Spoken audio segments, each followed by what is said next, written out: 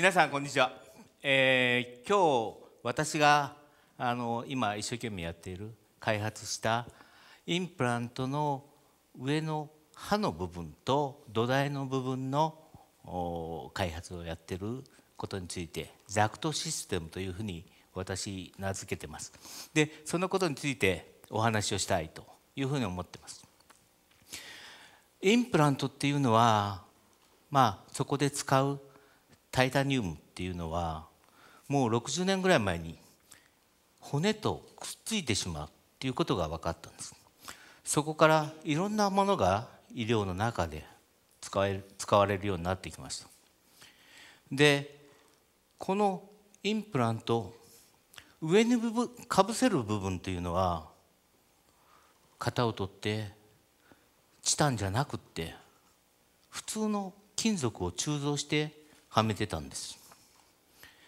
それはコバルトだとかプレシャスメタルとかそういうものを使ってたんです。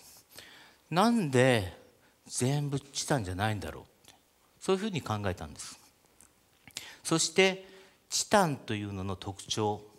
チタンは両者を合わせると冷たい溶接っていうぐらいくっついてしまうんです。そして外すこともできる。コールドウェルトというんですが冷たい溶接でくっついてしまう。そしてそういうふうにきれいにくっつくからギャップがないんです。隙間がないから匂いも出ない。そういうものを今一生懸命開発してます。今日いろんなことを話したいなって最初は思ってたんです、えーまあ、チタンっていうあのインプラントっていうのは臨床に根付いてます。もう60年ぐらい55年ぐらい臨床にちゃんと根付いてるものなんです。でそういうものっていうのは歯科インプラントだけじゃなくて骨折の治療に使うプレートそういうものともコラボレーションしてフィードバックして一緒にいろんなものが進んできた。で、えーインプラントっていうのは非常に有用なもんです。でも臨床で使う時にまだ改善の余地があるというふうに思ってます。そこで今日お話したいその私なりのソリューションをお話したいというふうに思ってます、えー私はあの歯科医師になって30年、えー最初は顎の関節の病気そういうものに対する興味から、えー臨床とか研究をやってきました。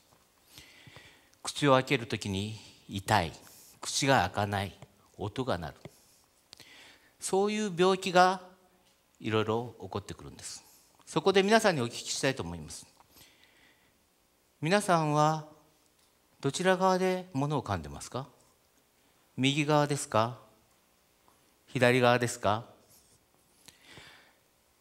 疫学的な調査の結果では右利きの方は左で噛む方が多いんです。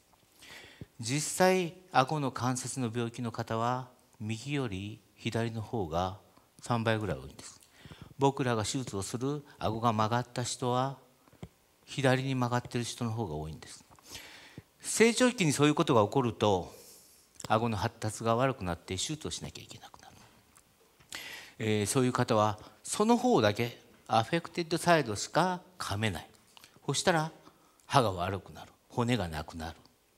そういう人たちに対して骨の移植をやったりしてきました。そして機能を再現するために、えーインプラントの治療をやったりすることがありました。インプラントっていうのは骨の中に埋める部分と上の台そして歯の部分があります。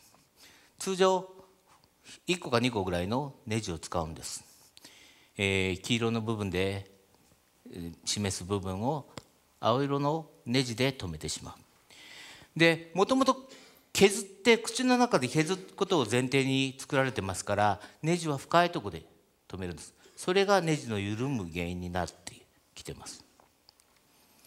えーインプラントというのはその部位だけで治療が完結する。そういう意味では非常に最小限のミニマムな侵襲の治療だと一方歯科のブリッジ歯をかけますよね。これは力の分散。そういう意味においては整形外科で使われている骨折のプレートスクリュー、えー、適度な刺激を骨に当たる与えることができるという意味では非常にあの共通したことが起こってます。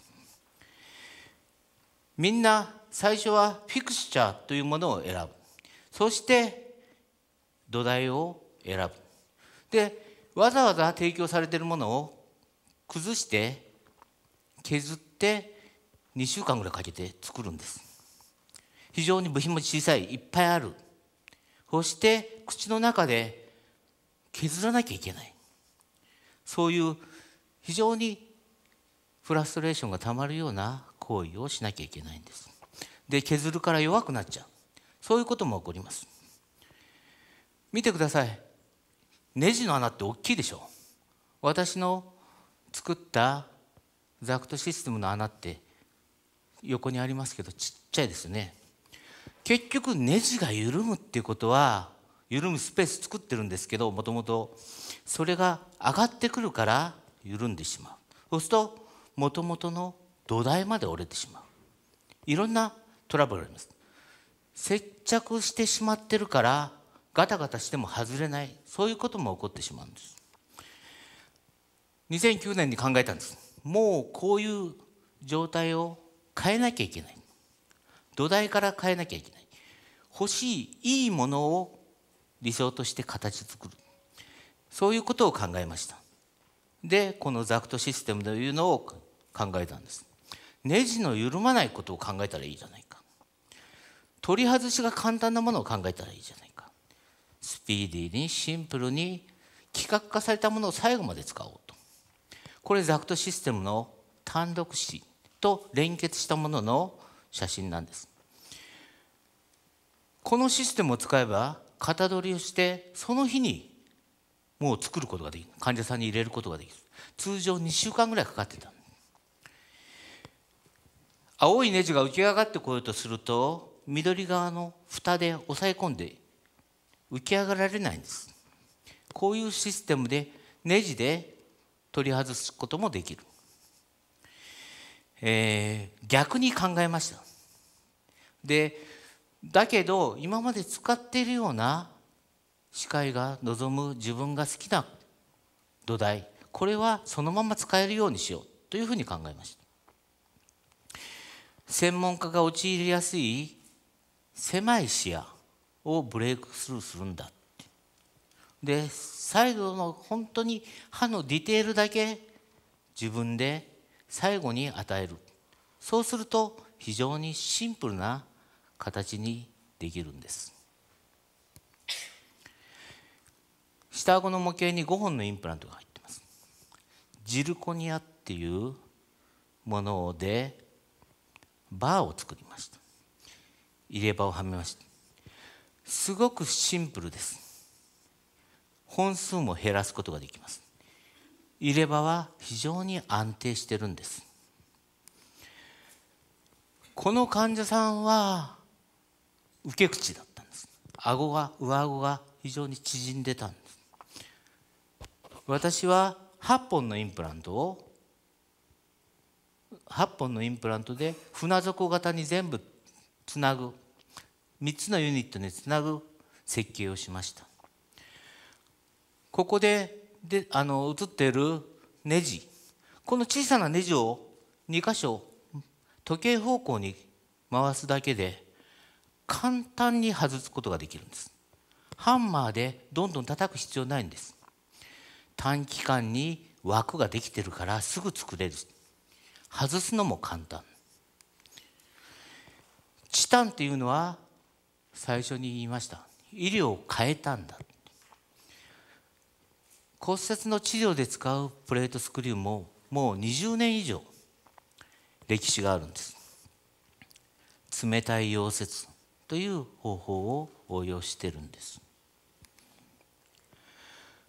私はこういうシンプルな我々臨床医にとっても患者さんにとっても口の中での作業を大幅に減らすことができる。こういうシステムをこの福岡から世界に向けて情報を発信していきたいというふうに考えています。いろんな問題の原因であったネジの緩みネジが緩んできて上に上がろうとしたらもともと押さえてるから身動きができない。そういう逆転の発想から企画品をなるだけ長く使う最後まで使う。わざわざ削ることを考えてメーカーが供給したいろんな状況に対応できるようなものじゃなくてもう触んないんです。でそのまま型取りをして土台の金属はもうそこにあるわけだからディテールだけテクニシャンが与えたらいい。そういうシンプルなシステムっていうのが今からのニーズになるんだというふうに確信してやみません。ただ非常にネジ穴も小さいですね。だからどうやってこれ外すんだろうってみんな思うかもしれない。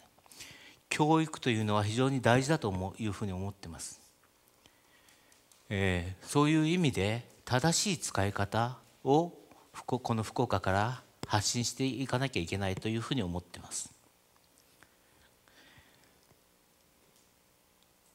このシステムというのは単純に今までセメントを一生懸命練ってたものが必要ないんです。単純にこうやって押さえるだけでもう外れないんです。でもこの小さなネジを使うと簡単に外れてしまう。下に当たったら外れてしまうんです。こういうシステムっていうのが今後の歯科の医療を変えていくんじゃないかというふうに思ってます。これは別に歯科インプラントだけじゃなくて普通の天然歯でも可能なんです。このアイデアが福岡から広がることを念じてやりません。ご清聴ありがとうございました。